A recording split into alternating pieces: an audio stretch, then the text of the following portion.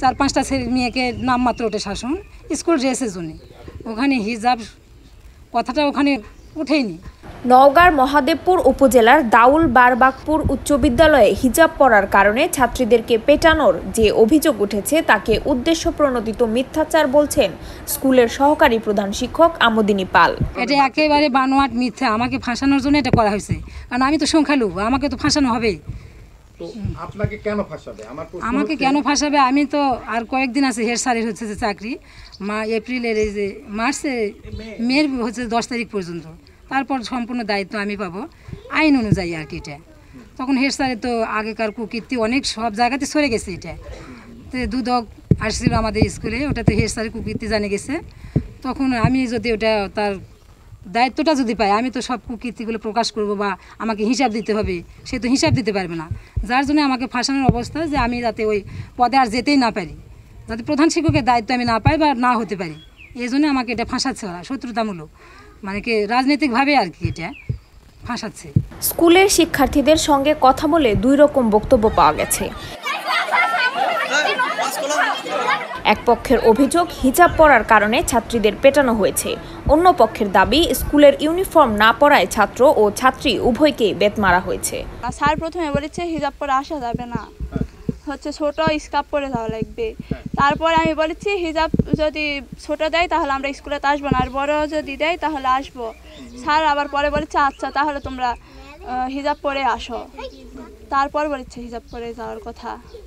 তার আগে বলছে হচ্ছে হিজাব পরে আসা হবে না। হিজাব পরলে বাড়ির পরে থাকা লাগবে স্কুলের কোনো হিজাব চলবে না। এটা আমদিনী ম্যাম বলছে। স্কুল ড্রেস পরেই গেছিলাম। আমরা হেজাব পরেছিলাম তার সঙ্গে সাদা কালারের হেজাবে পরেছিলাম ওড়না ভেজেছিলাম তখন জাতীয় সঙ্গীতের পরে আমরা যখন ওখানে দাঁড়িয়েছিলাম, তখন ম্যাম আসে আমাদের দেখে বলল, তুমি এভাবে আসছো কেন? ম্যাম আমরা তো তখন আমরা বললাম ম্যাম আমরা তো এরকম হেজাব পরে আসছি, আমরা তো এভাবে স্কুল সেট পরে আসছি ফুল ড্রেস পরেই তো আসছি। তো না, এভাবে তোমরা আসছো কেন? স্কুলের নিয়ম স্কুলেতেই কয়েক কয়েকজন ছাত্রী কয়েকজন ছাত্রী আমাদের সঙ্গে দাঁড়িয়েছিল ওগুলো মাথার কাপড় ছিল না তো। যে স্কুল ড্রেসে, যে ছোটো স্কার্ফটা আছে, ওগুলান পরেছিল ওগুলান। ওগুলান এক সাইড করেছিল। সামনে নিয়ে যায় বলল, কালকে থেকে তোমরা এভাবে আসবে। তখন আমরা ছিলাম, ওখানে একটা প্যান্টে আনে, আমাদের তখন বলছিল, তোমরা হাজিগিরি দেখাতে আসছো স্কুলে, তোমরা বাসায় বসে থাকে বোরকা পরে থাকো যা ওখানে বসে, তোমরা হাজিগিরি দেখাও, পর্দা করে আসছো, তোমরা বাসায় বসে ওখানে হাজিগিরি দেখাও।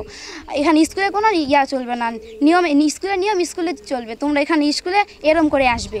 আমাদের স্কুলে শিক- ছাত্র ছাত্রীদের আরও পনেরো দিন সর্বনিম্ন পনেরো দিন আগে বলেছি যে আট দিনের মধ্যে তোমরা দেশ, পোশাক বানে স্কুলে আসবেই এই কয়েকদিন তোমাদের আর কিছু বলা যাবে না।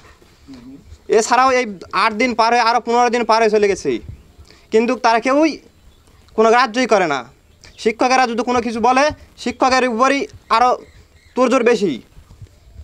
এছাড়াও গত বুধবারে শিক্ষক অন্য অন্য কোনো কিছু বলেনি। কিন্তু পো- পোশাক ছাড়া তারা অন্যভাবে বিভিন্ন মোশন ফ্যাশন নিয়ে আসে।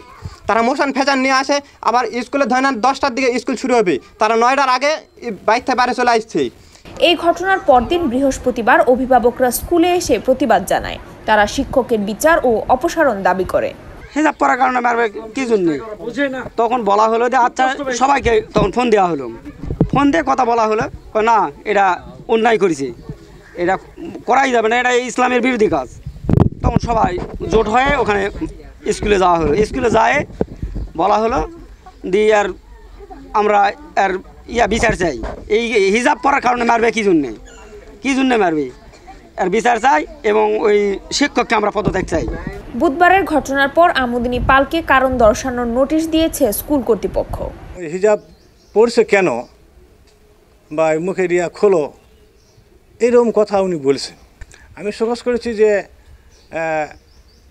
হিজাব পরা এবং অশ্লীল ভাষায় গালিগালাজ করেছে।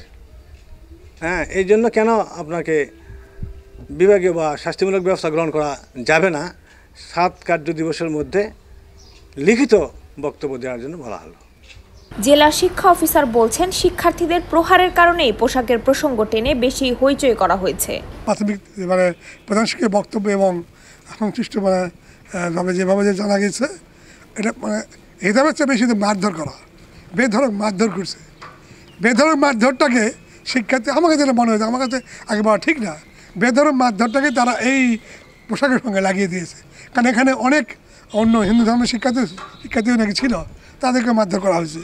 এই ঘটনার তদন্ত করে আগামী তিন দিনের মধ্যে প্রতিবেদন দাখিলের জন্য মহাদেবপুর উপজেলা প্রাণী সম্পদ কর্মকর্তাকে সভাপতি করে তিন সদস্যের কমিটি গঠন করেছে উপজেলা নির্বাহী কর্মকর্তা।